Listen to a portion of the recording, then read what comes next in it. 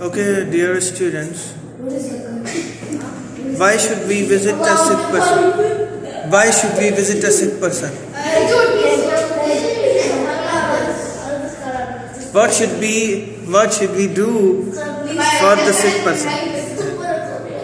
What is the benefit of sick visiting the sick person? How does Allah taste rich people?